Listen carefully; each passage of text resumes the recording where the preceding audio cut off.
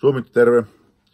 Huomesta multa puuttuu yksi perusteos tästä minun kirjastostani, videokirjastosta. Tota, no nyt satun ostamaan kaupasta sen, niin nyt myös juon sen kamera edessä. Ihan perus leijona, 32 volttinen leijona viina,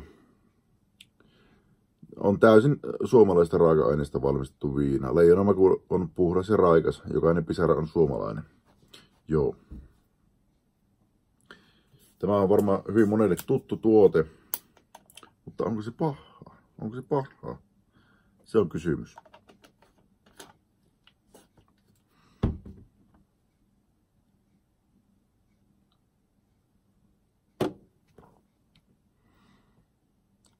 Se ei ollut pahaa.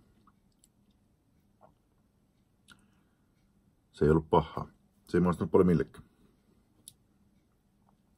Joo, no tulipa ostettua ja kun kerran tuli ostettua, niin minähän juosin kamera edessä. Eli näin. 0 5, morjens.